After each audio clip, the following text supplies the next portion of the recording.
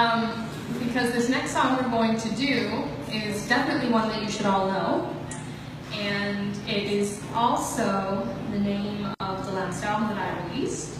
It's called Homeward Bound, and uh, I chose it because throughout my career I've spent a lot of time pursuing different types of music. I grew up living here in Cape Breton and singing a lot of Celtic music, sticking close to my roots. Uh, my family were huge country fans. I spent time singing country music. Of course, I went through a teen phase and did a lot of pop. And uh, when it came time to sit down and write another album, I knew I wanted to come back to where I started. And I thought this was the perfect song to do that. So this is Homeward Bound. I hope you sing along.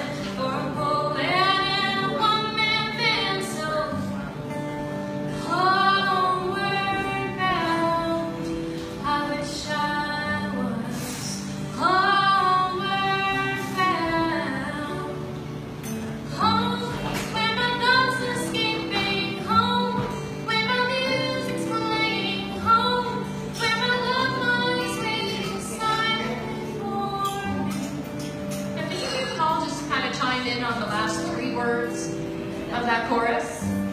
I heard a lot